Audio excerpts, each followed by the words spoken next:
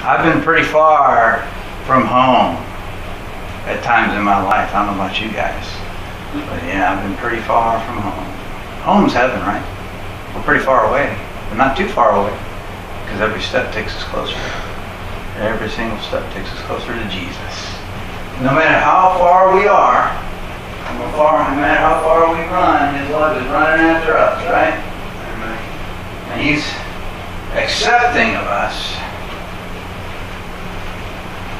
no matter where we are, he's accepting of us. Look at him. He's got his arms out, walking on the water. You know, we can all do the same thing, walk on water to him and then into the ship of faith that goes to the other side.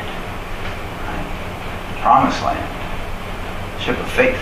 Because it takes faith to walk on water. It takes faith to love him back. It takes faith to make it through the storm right? Because life is like a storm sometimes. You can just feel the wind blowing. You can feel the waves crashing. You know, sometimes it seems like you're going to sink, right? I know I felt like I've been sinking many times in my life. I felt like I was going to sink. But, uh, you know, there was his love. There was his acceptance. Praise God. Yes. Let's kick it off. We got some scriptures here. Let's only start with an opening prayer prepare everybody, prepare myself. Thank you, Jesus. Thank you for this precious time that we have while we wait for your return, which is near, very near. Prepare every mind, every heart for what you have to say to us this day, Lord Jesus. And I know you've already prepared me. So just use me, Lord Jesus. Help me be your good and faithful servant. And do everything you want me to do say everything you want me to say, and think everything you want me to think. And I pray the very same for every soldier who's sitting here today. In Jesus' name. So, Proverbs 22, verse 1 says, in Spanish, de más, estima es el buen nombre que las muchas riquezas. Riquezas are riches, right? Y la buena fama más que la plata y el oro. So it means a, a good name is rather to be chosen than great riches, and loving favor rather than silver and gold.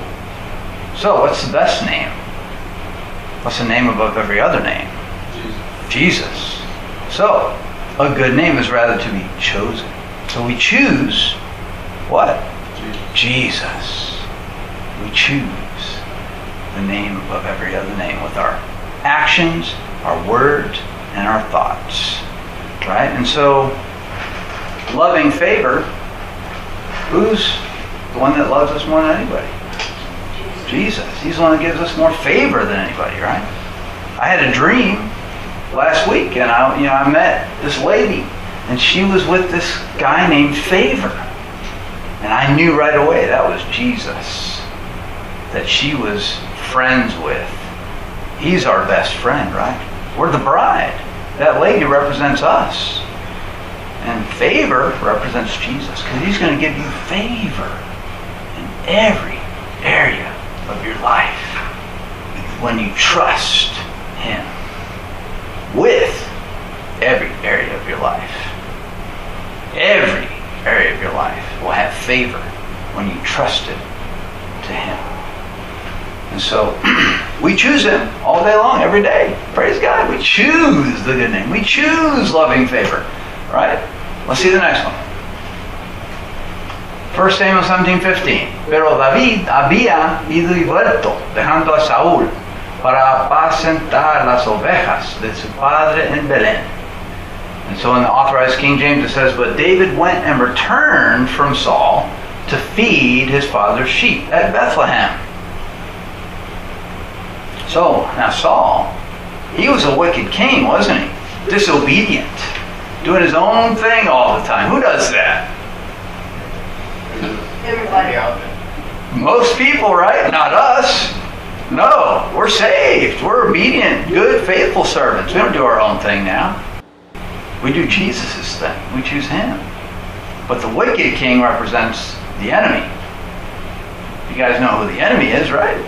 The true enemy. Yeah, the devil. Yeah. So, David represents us in this verse. We returned from the wicked king. We left him, right? And we went to feed our father's sheep. Who are our father's sheep? Brothers and sisters in Christ. Brothers and sisters in Christ. Here, we're here to feed each other, folks. God is going to feed you some word for me and everybody else. He's feeding me right now the word that y'all need to hear. Praise God. I'm not the only preacher here. You guys are all preachers too. We're all to preach the gospel to every creature. The gospel is Jesus Christ. We're here to demonstrate Jesus' love to everybody and then give a testimony about where we got that love. What's the hope of our faith? Him. We're here to testify to Jesus Christ. You know, Dad and I were studying the book of James this morning. I'll show you all later. We are the testimony of his creation. The living testimony of his creation. So, you know, the devil, Saul represents the wicked king, the devil, right? And the people of God represent his father's sheep. What about Bethlehem? What does Bethlehem represent here, folks? What do you think? Anybody getting a word from God? Bethlehem, the name, the name Bethlehem means the city of David. The city of David. Our city is our church, our territory. You're right, Luann. It's our territory that God's given us. The oikos, all the souls that we're supposed to steal back from the devil by preaching the gospel. That's our city that we're going to have in heaven, right? It's our city, praise God. You each have a city in heaven full of riches. Souls, right? We're going to steal those riches back from the devil. He thinks he's the richest and he wants to be richer. Why do you think evil's growing and growing and growing and more demons are being created every day with abortions, right? Yeah, he's building his army. You know, he's going to declare war on the human race openly pretty soon. You know, he's already done it through many, many things, which I can't really mention on camera, but if you want to see me later, I'll tell you. But anyways, Bethlehem's our city, our territory, praise God. Let's see what else we got. 1 Samuel 17:25. Y cada uno de los de Israel decía, no habéis visto aquel hombre que ha salido. Él se adelanta para provocar a Israel. Al que le venciere, el rey le enriquecerá con grandes riquezas y le dará su hija y eximirá de tributos a la casa de su padre en Israel. In English, that means, and the men of Israel said, this, you guys have read the story of David and Goliath, right? Mm-hmm. Yeah, this is from the story of David and Goliath, which I got to hear again yesterday from a whole different perspective. It was a blessing, folks. I recommend y'all read it again if you get a, a chance. And the men of Israel said, Have you seen this man that has come up? What the devil does all day long. He comes up and comes up and comes up in our lives where he doesn't belong. But he's allowed because he's proven us. We're being proven. Proven that we love Jesus. Proven that we can stick to it, that we have a commitment to him, that we're committed, that we're actually married, you know, for life until death do us part, right? And even then we're not going to part because it's eternity. We're proving that we're committed. Surely to defy Israel is he come up, and it shall be that the man who killeth him the king will enrich him with great riches and will give him his daughter and make his father's house free in Israel. This is a great story, folks.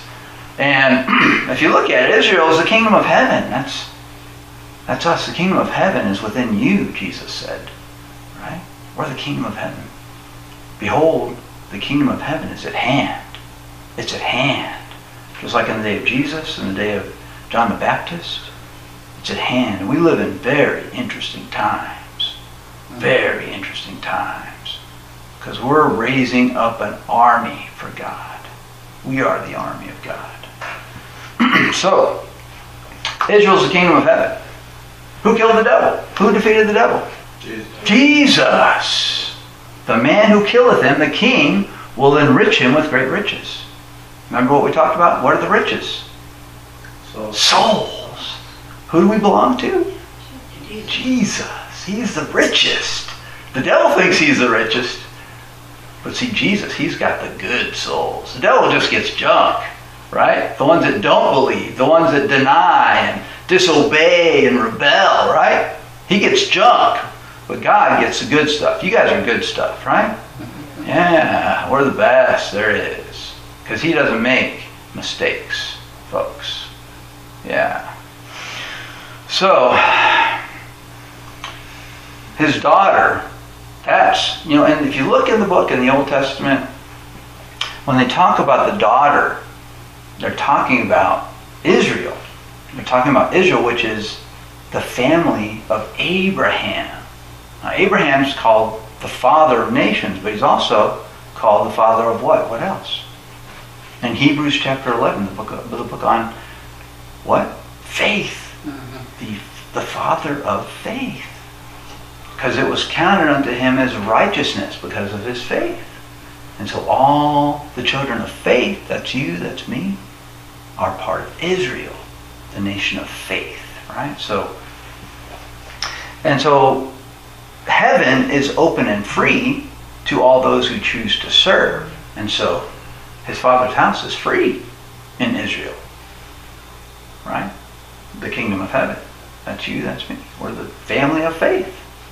So it's a free place. Free to live there forever. Yeah. But down there you gotta pay a price. Right? you gotta you gotta pay rent forever. How'd you like to do that? No thanks. Go ahead. so anyways, the next one is, uh, oh no, the next, yeah, Santiago or James, chapter 1, verses 25 to 27. Mas el que mira atentamente en la perfecta ley, la de la libertad, y persevera en ella, no siendo oidor olivadizo, sino hacedor de la obra, este será bienaventurado en lo que hace. I hope you guys don't mind I'm doing this in two languages because we have a lot of folks that only speak Spanish that love Jesus. And I want to reach them. And there's coming, there's more and more and more and more and more coming to this country. And this is Heart of Faith USA. Not Heart of Faith English only, right? Heart of Faith USA. And the other main language in the USA is Spanish. So thanks for y'all's patience as we get to the word. Si alguno se cree religioso entre vosotros y no refrena su lengua, sino el que engaña su corazón, La religión del tal es vana. La religión pura y sin mácula delante de Dios, el Padre, es esta, es esta, visitar a los huérfanos y las viudas en sus tribulaciones y guárdase sin mancha del mundo. And so in English, out of the King James, it says, But whoso looketh into the perfect law of liberty. What's the perfect law of liberty? Jesus, the Word of God. He's the living Word of God, but we have the written Word of God that we can actually see and feel and read and study and meditate on. That's Him in visible form, right? The perfect law of liberty. And so when we look into the perfect law of liberty, we study it, we try to find what's hidden in there by God, because it's hidden because the ones that don't believe, He doesn't want them to find it. It's only it's treasure for us only. Only for his people. Whoever look into it, looks into it and continues therein, we have to continue to study because every time we read it, it's going to have something new for us. We got to be in there all day long. He being not a forgetful hearer or a deceiver, because when they forget, they end up deceiving, but a doer of the work. That's what we just talked about. We're all doers of the work, doers of the word, the work of God. This man shall be blessed in his deed. If any man among you seem to be religious, and bridleth not his tongue, but deceiveth his own heart, this man's religion is vain.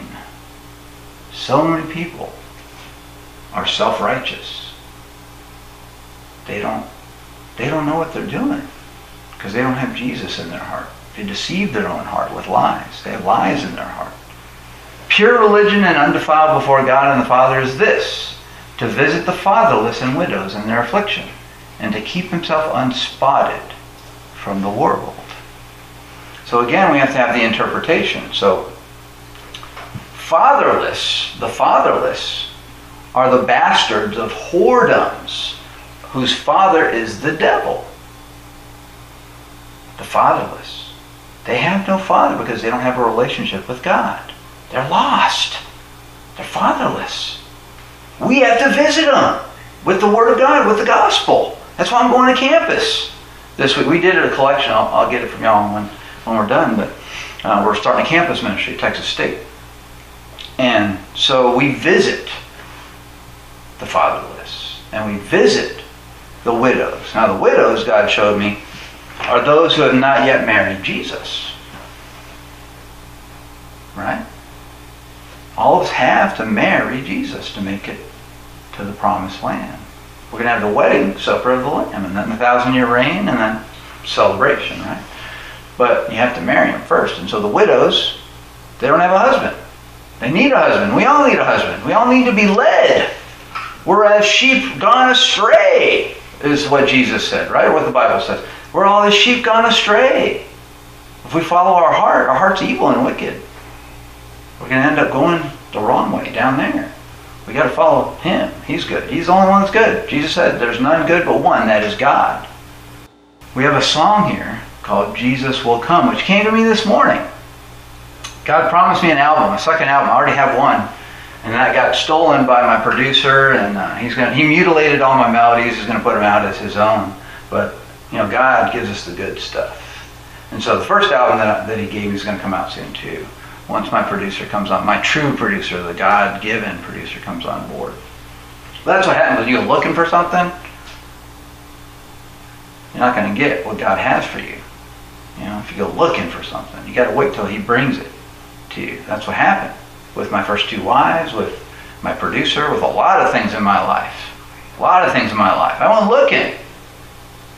You got to wait on God for Him to give you, bring you what he wants you to have. He'll give you the desires of your heart when you delight in him. Unexpectedly, most times. Unexpectedly, most times. The desires of your heart. Who lives in our heart? Are his desires. His desires that he gives you. Because you're one with him. So his desires become your desires. And then he gives them to you when you delight in Him all the time. Anyway, let's sing the song here. It's uh, pretty simple. This is the Beatitudes put to a song, and this was written for a little girl named Melanie, who um, sang "Joy, Joy, Joy, Joy" down in my heart. She sang that for me yesterday, without me even having to ask. She knew I needed to hear that song. So God wrote this for her through me this morning, about five in the morning, because she needed to be rewarded for being obedient to Jesus, right? So, and she needs to know the Beatitudes, and she has trouble memorizing spoken words, but the, the music just goes right into her heart and stays. So, here we go for Melanie. The poor get heaven, the rich get hell, the sad get comfort, the sick get well. God lifts the humble, resists the proud. He fills the hungry, comes in a cloud.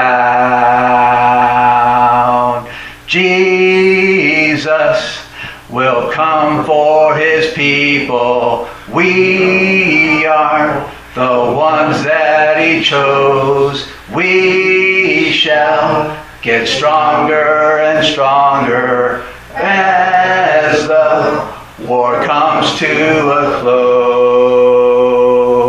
The meek and quiet shall have the earth. The pure in heart get to see God first. When we make peace, we're God's holy child. His precious blood makes us reconciled.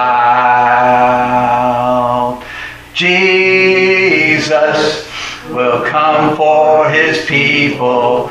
We are the ones that he chose. We shall get stronger and stronger as the war comes to a close. When others hate us, we won't attack. We trust in Jesus, He shields our back. We do and teach everything God says. We live for Him every single day. Jesus will come for His people. We are the ones that He chose. We shall get stronger and stronger as the war comes to a close.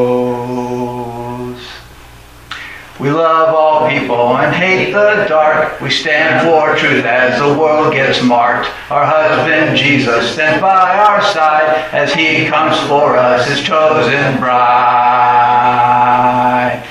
Jesus will come for his people. We are the ones that he chose. We shall get stronger and stronger as the war comes to a close. Jesus, now come for your people. We are the ones that you chose. We shall get stronger and stronger as this war comes to a close. Amen. Amen. Praise the Lord. So, deliverance from affliction. God showed me the past couple days that, you know, we either choose to, to obey and serve the great I am or the puny, cowardly I fear, right? God or the devil, right? It's one or the other, folks. There's no in between.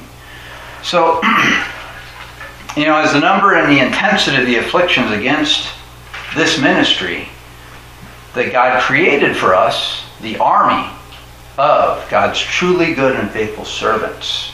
As it grows, so does the power that rests within us and the intimacy that we get with Jesus as we become more and more obedient and we learn more and more of His truth that He has for us.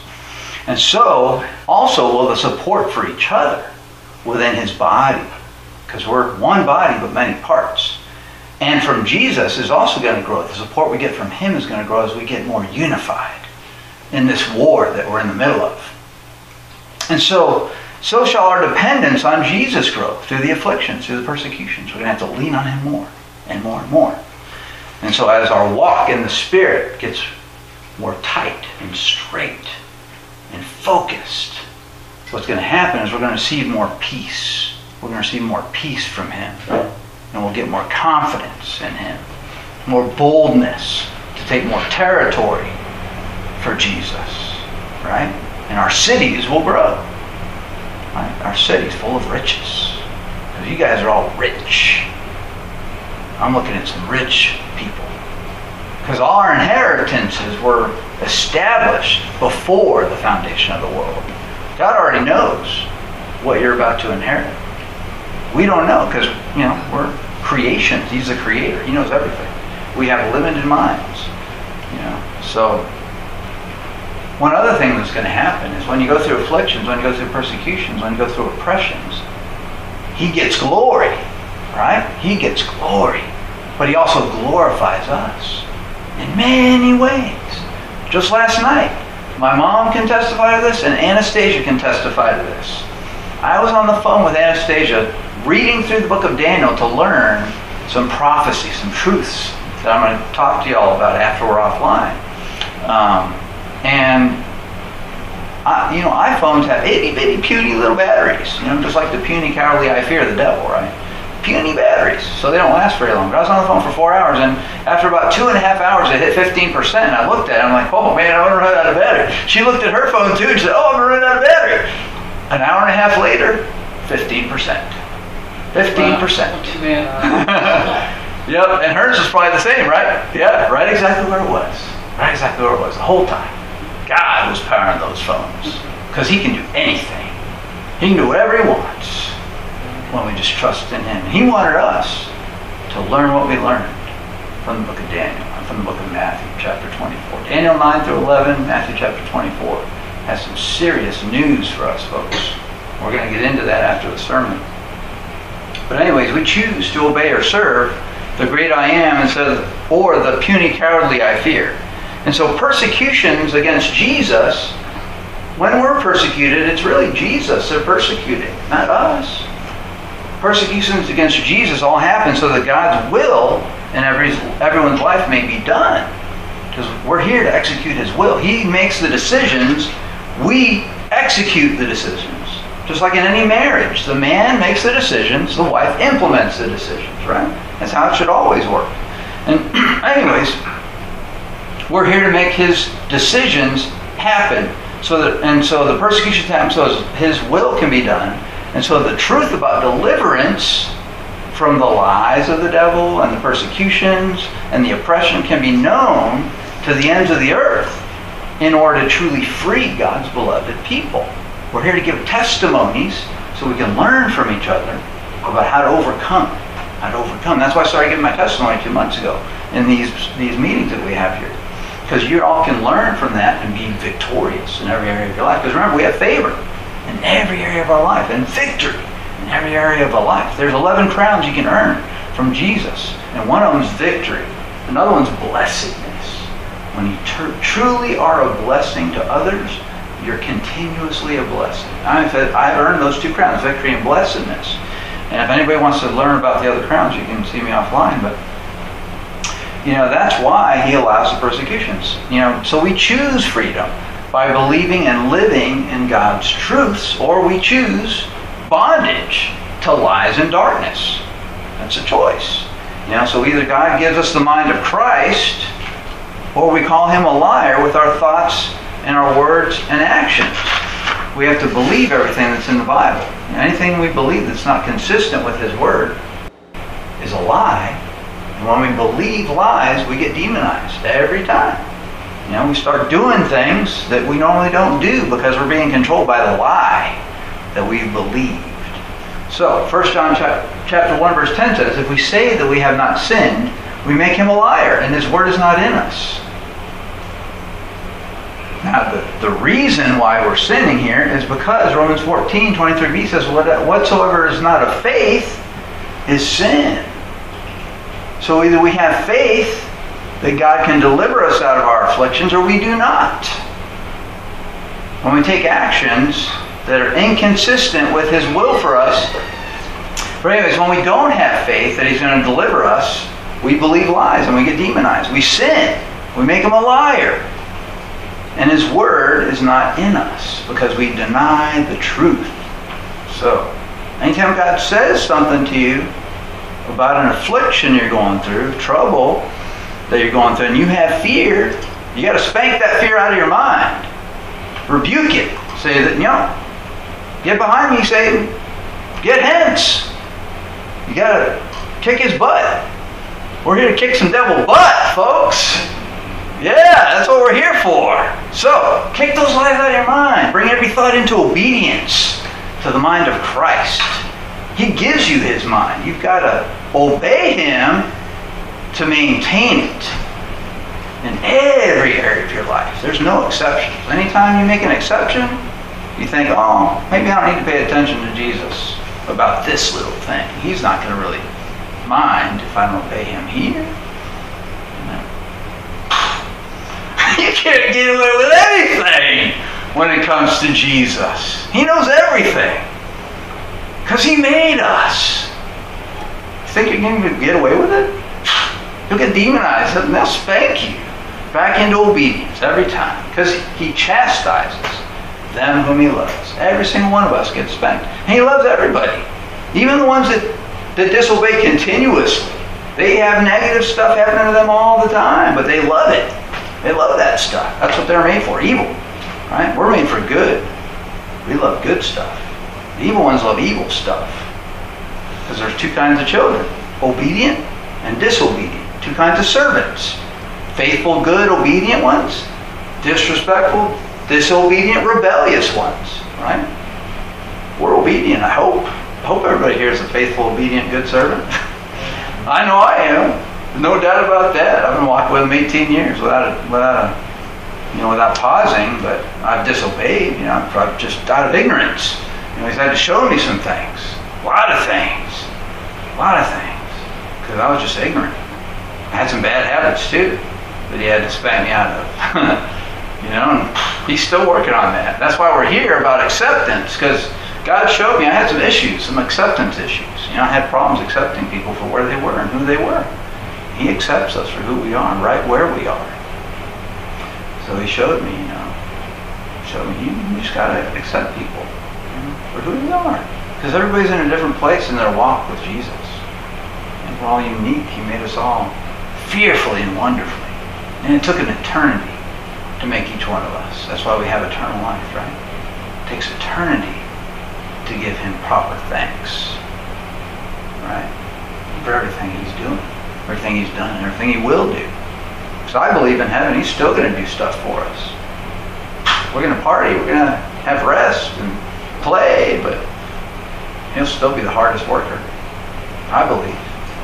He'll still be doing stuff. But it'll all be play because there'll be no, no more challenges, no more evil, no more resistance to the truth. It's all going to be obedience and truth, faithfulness, joy, peace, love, goodness, gentleness, all the good stuff, right? Fruits of the Spirit. So, you know, the world calls my actions, as well as those of God, bipolar. You know, the world thinks I'm bipolar. But I am just as bipolar as God is. Because God, He gives grace to the humble and He resists the proud. And so do I, because I'm godly. You know, I'm living godly in Christ Jesus, and that's why I get persecuted. The Bible says, all those who live godly in Christ Jesus shall suffer persecution. And that's why I talked about the mental prisons earlier, you know. That was my main persecution for a long time. And he put me in mental prison ten times. Know? But this time they tried to do it, he said, that's enough. Like, he's in ministry now. You're not going to touch him. I'm not going to touch him anymore. So, but I learned about what they do in those places so I could help those who are in prison. So that's the second ministry we're going to form. The first one is the campus ministry, then mental prison ministry. Praise God. We're going to rescue the souls from the mental prisons, from the oppressions, the poisons, the, the addictions that they cause. but let's continue. So God resisteth the proud, but giveth grace unto the humble. So, are you of the world or of the truth? Are you of in darkness or in God's marvelous light? Is your eye single or evil? Is the Word of God true? Or does he lie when his Word says that the name of Jesus, through faith in the name of Jesus, can make a person completely well? Perfectly sound. A lot of people believe falsely that the miracle stopped after the apostles, after the initial church, after the apostles all died, right? Lie from the devil. We got the same power they did, same anointings, same gifts. No different.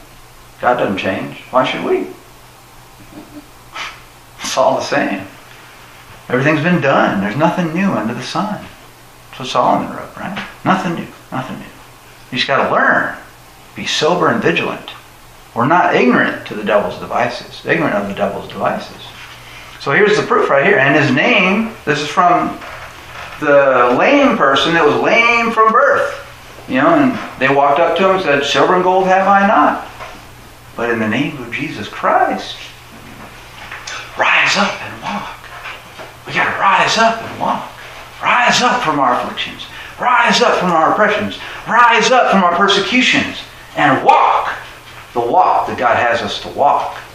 Walk all the way to Him in the flesh, in His new body, right? He's glorified. He's been glorified. We're all going to get glorified too. We'll get our glorified bodies. Not too long from now. So, anyways, his name, through faith in his name, hath made this man strong, whom ye see and know. Yea, the faith which is by him hath given him this perfect soundness in the presence of you all. God loves witnesses. That's why my battery was stayed at 15%. Her battery stayed where it was. There were witnesses to the miracle. God loves to be glorified. When you give him the glory, he rewards you, right? Yeah, amen. So, are you obeying and serving the great I am? The great, powerful, almighty, unstoppable I am? Or are you serving the puny, cowardly I fear? I laugh in the face of fear. You guys should too. There's nothing to fear. He's with us. He's with us at all times. There's nothing to fear. Fire, storms, mental prison, real prison, beheading, whatever. They can do whatever they want. They're not going to keep me away from Jesus. Nothing they can do to keep me away from Jesus. So, you know, wake up. If you're not already in full time service, you better get into service. Because the only way you get intimacy is through service. It's the only way. Only way. 24 by 7 by 365. Service. Work. There's no rest for a true soldier. It's all work. It's all work. And he'll sustain you. And Anastasia and I were talking about this, you know. They shall rise up with wings as eagles, and they shall run and not grow weary. They shall walk and not get tired, right? God will sustain you when you're serving Him. You'll do some things you didn't think you could do. That's what He has for us to do. The work of Jesus. Yeah. So, anyways, enter full time service. Start living in freedom and truth and joy and peace with God. The only way to have peace with God is for Him to be with you. And the only way for Him to be with you is when you're obeying Him, serving Him. You're in service. You're in the service, the army. Right? So there's a false belief out there that I ran into a couple weeks ago that Jesus went to Sheol instead of hell. Where? Sheol, something called Sheol. It's like a fake hell that some people believe in. Right? I'm going to show you all the truth in case you ever run into this lie of the devil that a lot of people believe. Go ahead. So, Luke chapter 16 tells the story of the rich man and Lazarus. You guys probably heard about this, right? The beggar and the rich man. There was a certain rich man who which was clothed in purple and fine linen and fared sumptuously every day. And there was a certain beggar named Lazarus, which was laid at his gate, full of sores, and desiring to be fed with the crumbs which fell from the rich man's table. Moreover, the dogs came and licked his sores. Now, there's a lot of wisdom in here that I can't get to because we don't have time. There's so many stories behind this story that'll talk to your life. So I just recommend everybody get into this when you get some time. Study the Word, Luke chapter 16. Go ahead. And it came to pass that the beggar died and was carried by the angels into Abraham's bosom. When Jesus comes for us, if you read the Word, we're going to be carried by the angels. I can't wait to be carried by an angel. Meet an angel. That's going to be awesome, huh? Meet the angels. We're going to rule over the angels too because God showed me the hierarchy. You know, it's God the Son, God the Father. You got three levels of faith. People, depending on their levels of faith, then you got the two types of angels. You know, so you got all the all the thrones in heaven. So the rich man also died and was buried, and in hell he left up his eyes, not Sheol, being in torments, and seeth Abraham afar off, and Lazarus in his bosom, in Abraham's bosom. And he cried and said, Father Abraham, have mercy on me, and send Lazarus that he may dip the tip of his finger in water and cool my tongue, for I am tormented in this flame. You know, I talked to someone about this already. The reason he wanted his tongue to be cooled is because in the in hell there's weeping and gnashing of teeth. People are just chewing on their tongue all day long because of all the pain. They can't control it. It's uncontrollable torment. It's your body's reaction to the torment. So he wanted his tongue to be cooled by the water. But Abraham said, Son, remember that thou in thy lifetime receivest thy good things, and likewise Lazarus evil things. But now he is comforted, and thou art tormented. That's what's going to happen. The poor get heaven, the rich get hell, right? If you're rich in the world, you can be rich in tar, in the tar pit forever. Because all the stuff of this world becomes tar, just melts into the lake of fire. You get, to keep what you wanted to keep, right? But if you give it up, if you're willing to lose everything like Paul did, like I have several times, like many people who are serving Jesus have several times, you get heaven. You get the true riches. Yeah. Stuff that lasts. It doesn't turn into tar and burn forever. so, beside all this, between us and you there's a great gulf fixed, so that they which would pass from hence to you cannot. Neither can they pass to us that would come from thence. So this is another case. I had a sermon Thursday that you can find online called Fellowship with God, where I talked about how not every scripture, the literal, you know, the literal interpretation is not always applicable. You know, sometimes a literal interpretation of a scripture doesn't make sense. And I showed a few examples in thir- on Thursday's uh, sermon, but the words here, um, Abraham's bosom, represents the nation or body made up of all the children of faith. We've already talked about that. Faith, light, love, all the good stuff. Not Abraham the person, right? Abraham the nation. That's us.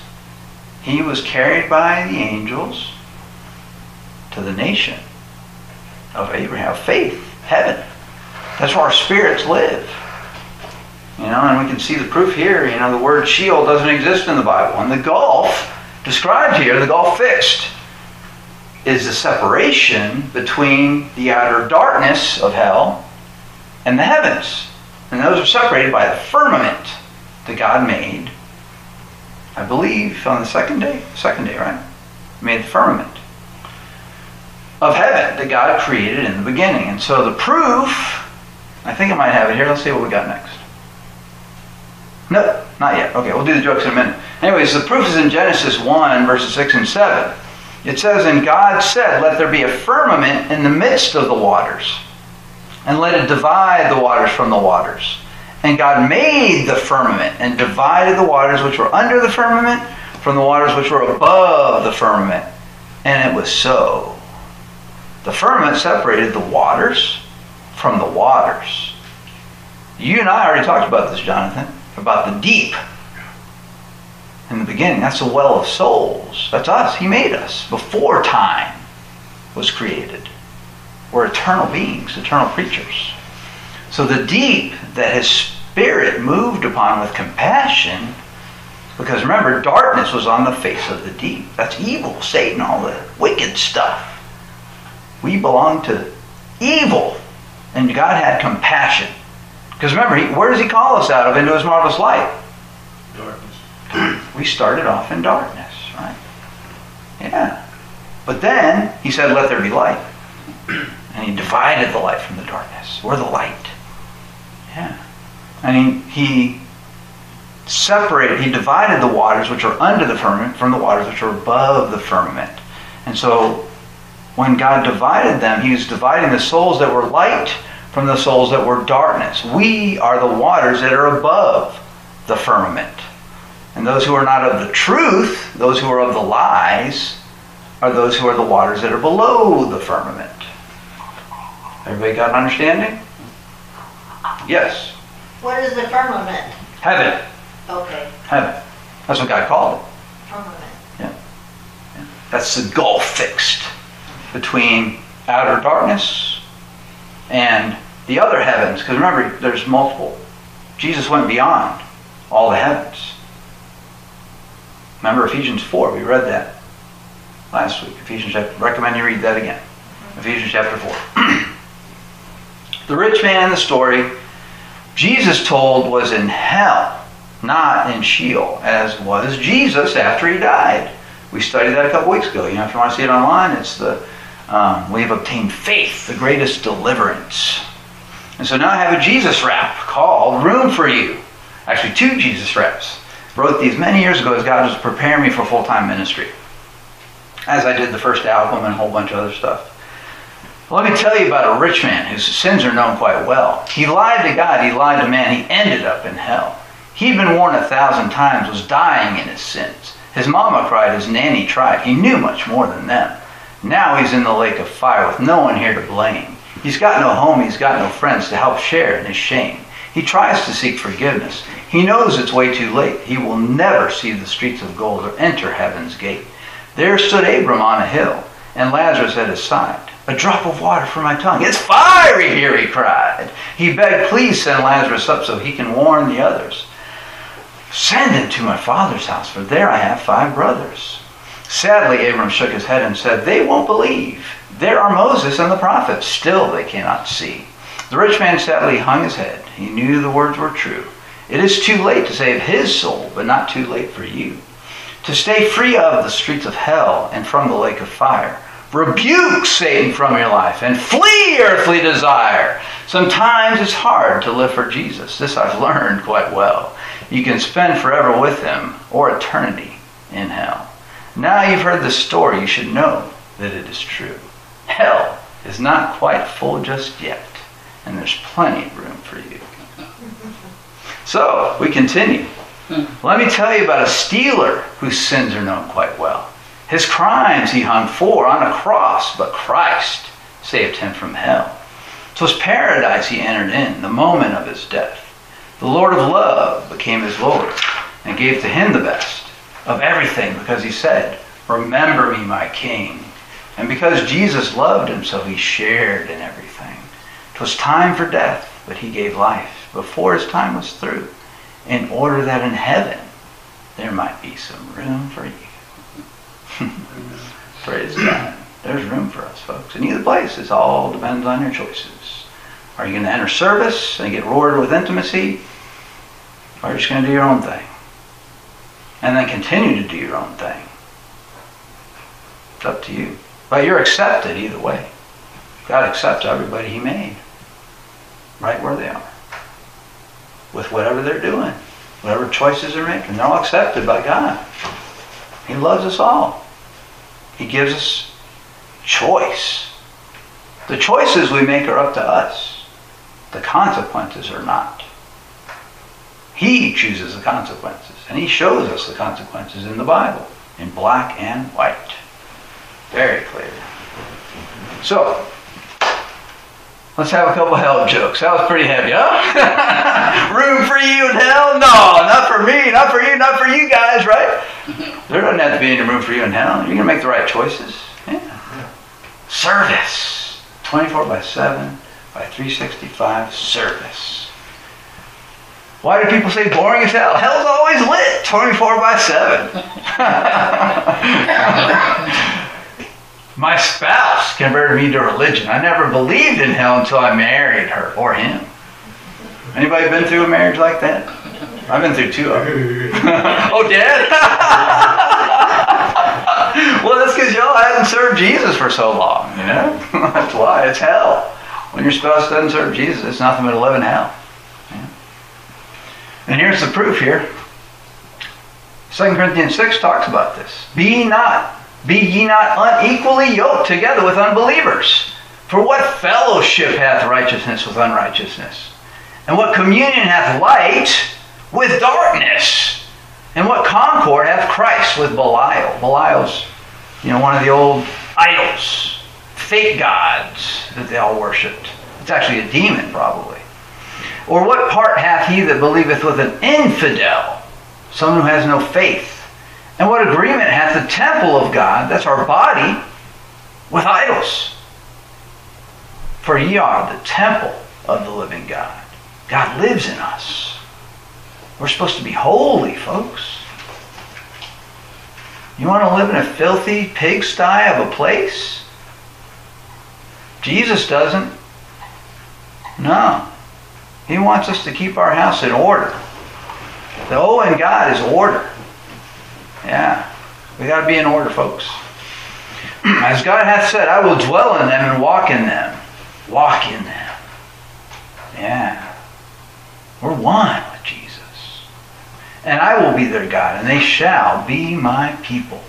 Wherefore come out from among them, the infidels, the ones that curse us and persecute us and afflict us because they're darkness, we're light. And be ye separate, saith the Lord, and touch not the unclean thing. And I will receive you, and will be a father unto you. And ye shall be my sons and daughters, saith the Lord Almighty. Praise God. Sons and daughters. Adopted by the blood of Jesus, the price he paid. Adopted sons and daughters. We have a father. We're not bastards. We're, we're children. Proper, lawful, adopted children. Because of our faith and because of what Jesus did. Yeah, and what he continues to do. Praise God. Oh yeah, you are definitely accepted. Definitely accepted. Anybody feel question? Anybody question that? that whether you're accepted or not? Yeah, How do you know you're accepted? Faith.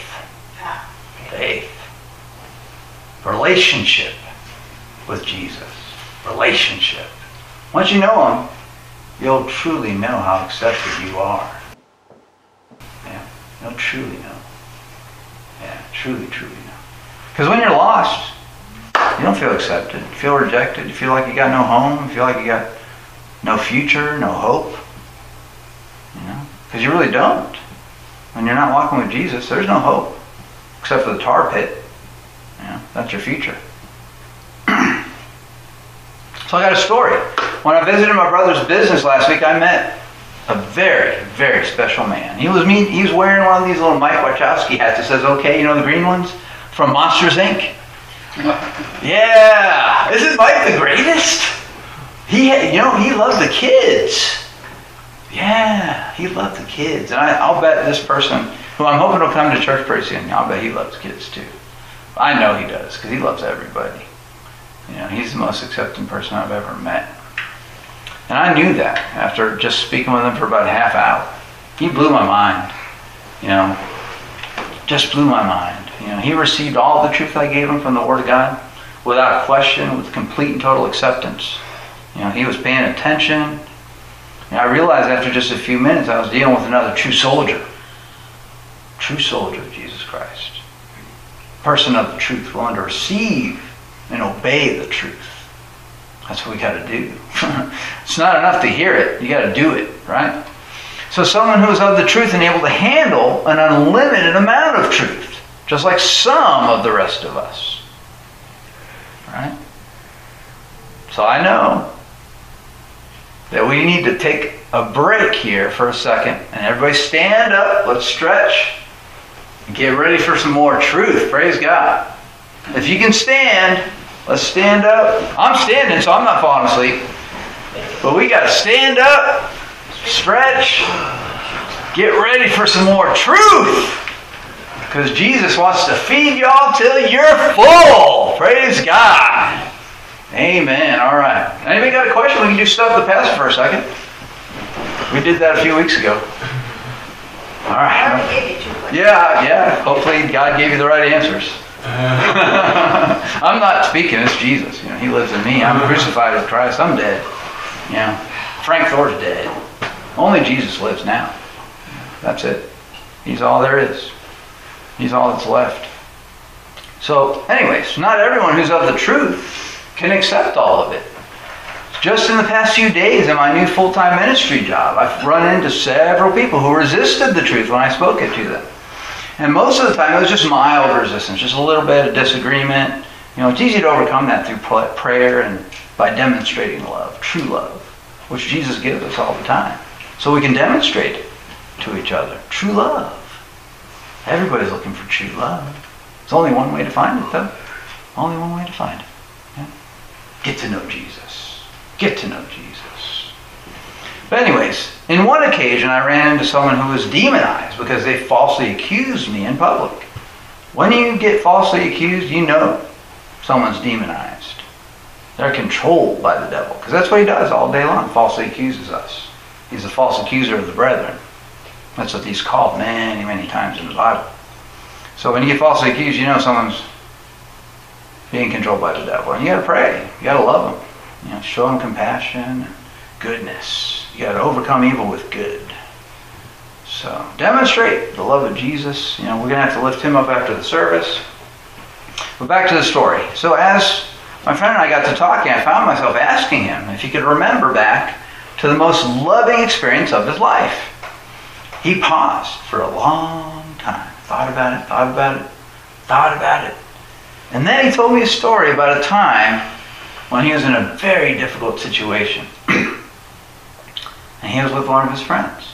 And he broke down, totally broke down in front of his friends. He couldn't control it. He just hadn't, he was overwhelmed.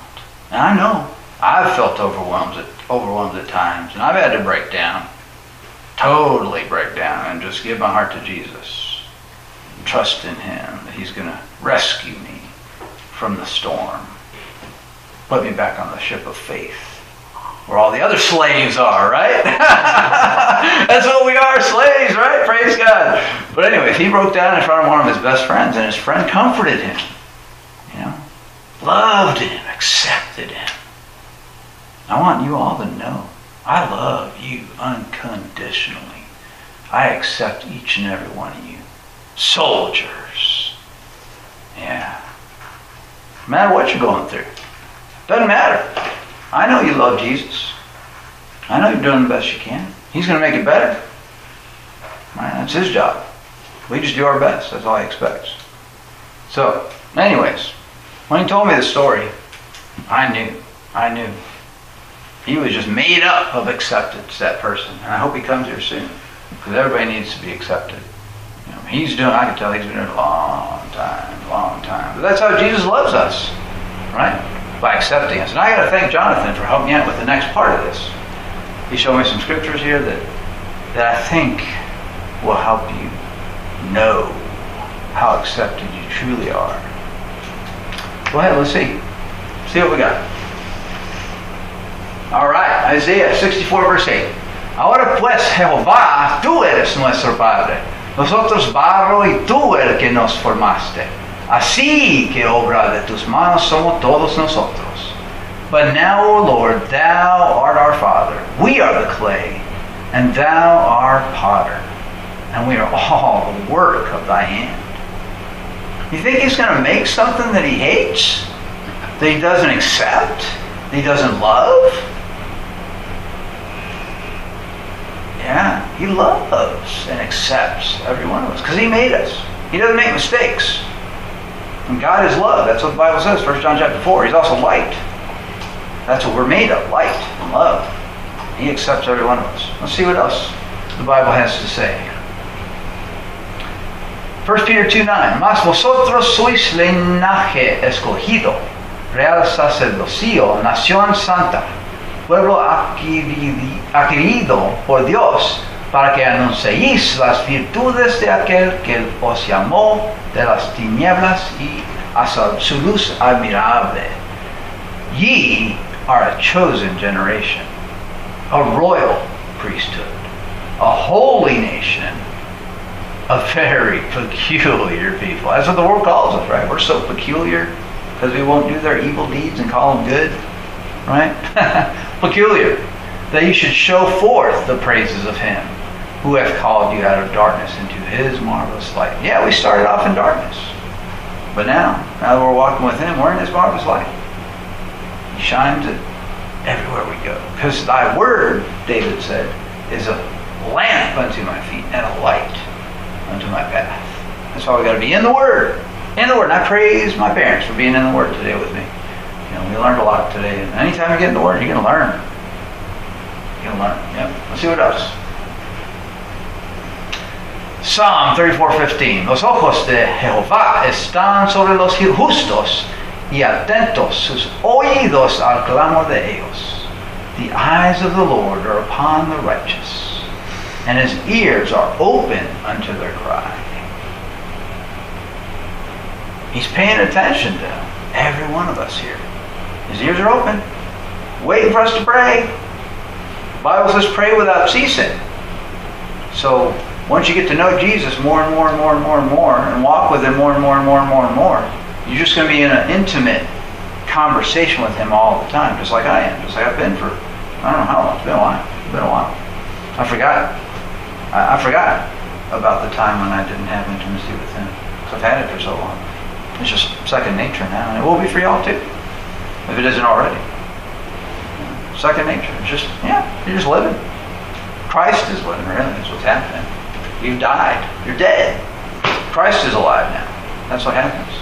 Once you become totally obedient, totally obedient, unquestioning, instantly responsive to commands, instant in prayer, yeah. speaking prayer. Because we're always thinking on Him, always focused on Him. But we got to be instant in our spoken word, our prayer language, when the battle heats up, when we sense the enemy. Because when we're sober and vigilant, we're always going to know before the devil does what he's up to. Because God knows before he does what he's up to. And God's going to tell us, and we're going to pray. And the devil will be spanked out of your life every time. Because he moves the mountains. All you got to do is speak to the mountain. Speak to the mountain. Speak to the mountain. Bye bye, mountains. Thank you, Jesus. That's how it works. Every time. So just speak to the mountains, folks. Because his ears are open unto your cry. And he's always watching. Can't get away with anything, remember? Just obey. Serve. Get into service. Let's see what else we got. 2 Corinthians 1.20 Porque todas los, las promesas de Dios son, en el sí y en el amén por medio de nosotros para la gloria de Dios. For all the promises of God. You think there's a promise he won't keep? He's a promise keeper. In him are yea, and in him amen. Who do you think they're talking about? In him. Jesus. Jesus holds the promise and releases the promise. He's favor, loving favor, right? That's the promise, the loving favor. Unto the glory of God. By us. We implement the will of the Father through prayer and obedience to our husband, Jesus Christ, who gives us commands, and we do them. All right, anything else? Let's see. 2 Peter 1 4. Por medio de las cuales nos ha dado preciosas y grandísimas promesas, para que por ellas llegaseis a ser participantes de la naturaleza divina, habiendo huido de la corrupción que hay en el mundo a causa de la concupiscencia, whereby are given unto us exceeding great and precious promises, that by these ye might be partakers of the divine nature, having escaped the corruption that is in the world through lust. Anybody remember the three weapons the devil has against us? The three temptations Jesus had to go through? Remember what those were? Remember, anybody remember the first thing the devil said to Jesus when he was tempted of the devil? If thou be the Son of God. False accusation right away. Very first thing. That's what he does. Falsely accuses the brethren. Falsely accuses Jesus. If thou be the Son of God, command that these stones become bread. Right? It is written. It is written. Man shall live, not by bread alone, but by every word that proceedeth out of the mouth of God. It is written. Jonathan gave me a good book today. Showed me some it is writtens that I hadn't memorized yet. Those to be in my heart pretty soon. You got to have the word in your heart to be effective in spiritual warfare. Because every attack of the devil has a counterattack that neutralizes it. And it's all in the word. It's all in the word. You got to know the word. You got to speak the word. You got to pray the word. You got to live the word to be victorious. So we've escaped corruption that is in the world through lust. Lust of the flesh is what we're talking about here, right? He was hungry. He hadn't eaten or drank anything for 40 days. Hungry. Turn these stones into bread. You won't be hungry anymore. Yeah. yeah. Just do your own thing. Do your own thing, right? Feed yourself some food, some worldly food. Nah. We live on godly food, right? Primarily godly food. Wisdom, knowledge, understanding. The Word of God. That's the main food. Word of God. Get in the Word. The next one is lust of the eye. Lust of the stuff you desire, that your body, your your mind desires. You know, the sparkly stuff, you know. Stuff that just looks pretty, you know, that that Lamborghini or that Porsche, that Corvette, whatever, you know. The house that's just so beautiful. And all that worldly stuff that just, uh, you know, Doesn't attract me anymore. You know, I know where I'm headed. I know where my riches are, but you know, I could use a house. Yeah, I'm poor. You know, I'm driving a beat up pickup truck. I got, I got no, no place to live really, except for my parents, the grace of God. You know, my brother, house in Buda that I stay at. So, you know, it's uh, it's not about what you can obtain on earth, right? The lust of the flesh, the lust of the eyes. But the third weapon is the most insidious. Anybody remember what that is? The pride of life. The pride of life. Yeah, temptation to do things your own way. Or give in to fear and do things the cowardly way.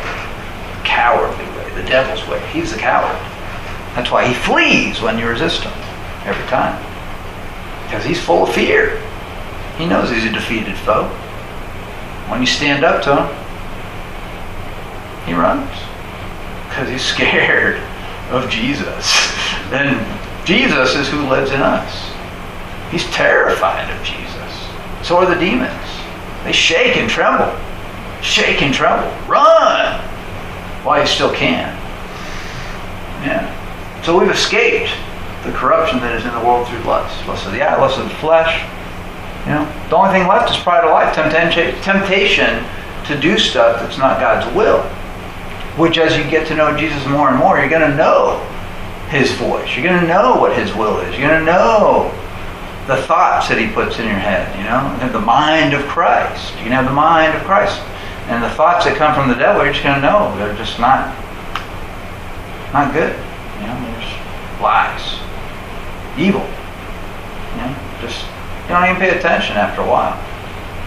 Once you've had the mind of Christ for a while, you just live in the truth, live in the light. Yeah. Yeah, every once in a while the devil will raise his head and you'll have to rebuke him, speak some truth and the word of God, and he'll run again.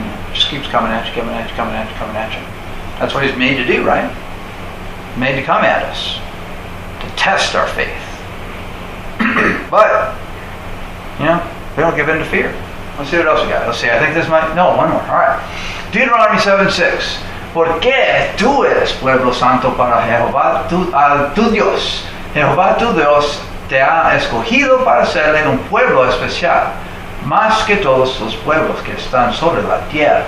Thou art a holy people unto the Lord thy God. The Lord thy God hath chosen thee to be a special people unto himself, above all people that are upon the face of the earth. If you had enough faith to come here and hear some pretty tough truths, you're his chosen people.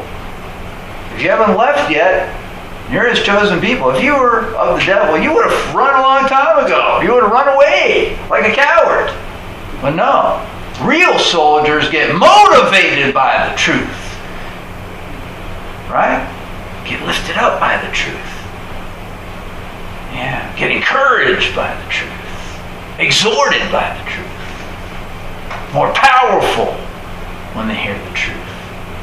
Yeah, I'm only going to feed y'all truth, folks, that's what you need to be fed. There's so many false teachers out there. But you know, I'm hoping, hoping I every message I give so far, I've looked at all of them. So far, I haven't found, you know, any issues. hopefully God will stay with me and I'll stay obedient and keep saying what he wants me to say instead of what I want to say. So we're above all people that are upon the face of the earth. Because he's chosen us to be a special people unto himself. Chosen us. Chosen us. He made a choice and then we make the choice back. Right? Because we love him just as much as he loves us, as much as we can. He loves us way more, but you know, we try. We try to love him as much. It's impossible, but we try. Try to love. Try to love him. Try to respect him. Try to obey him. Try to serve him. Try to live for him. We all make mistakes, but he accepts us. He accepts us. You're accepted because you're trying your best. Trying your best. Getting rid of the old lies. Getting rid of the old habits as he spanks you into submission, you know, and shows you these different areas that need correction. usually out of the Word of God. But we're an obedient people, so we're going to correct the mistakes. We're going to get back in line. Go ahead. All right, Ephesians 3 6 in Spanish. Bendito sea el Dios y Padre de nuestro Señor Jesucristo, que nos bendijo con toda bendición espiritual en los lugares celestiales en Cristo, según nos escogió en el antes de la fundación del mundo, para que fues- fuésemos santos y sin mancha delante de Él, en amor habiéndonos predestinado para ser adoptados hijos suyos por medio de Jesucristo, según el puro afecto de su voluntad, para alabanza de la gloria y de su gracia, con la cual nos hizo aceptos en el amado. This is the meat of the message, folks.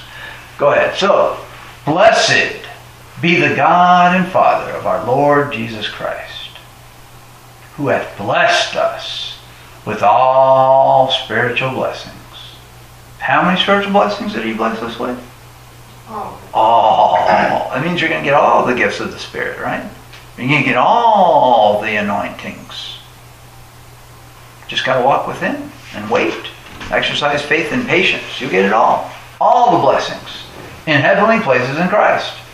According as He hath chosen us in Him before the foundation of the world. When did He choose us? Before. Before the found, yeah, before time even started, that we should be holy and without blame before Him in love, having predestinated us unto the adoption of children by Jesus Christ to Himself. Jesus adopted us when He gave His life for in exchange for ours. Our, you know, His He died the death we should have died. You know, and He went to hell for three days and three nights burned off all the sin, came back in glory. And like he's coming again pretty soon. to the praise and glory of his grace, wherein he hath made us. What's that word right there? Praise the Lord! Accepted! You're accepted in the beloved. In the beloved. The beloved. The beloved is Jesus Christ, right? The most beloved beloved by the Father, beloved by his children, the most beloved. Because he is the most loving, the most serving, the most sacrificing, the hardest working, right? He's our everything. Praise God. I think we may have a song. Let's see. Tis so sweet to trust in Jesus, isn't it? Nothing sweeter. Nothing sweeter than trust in Jesus.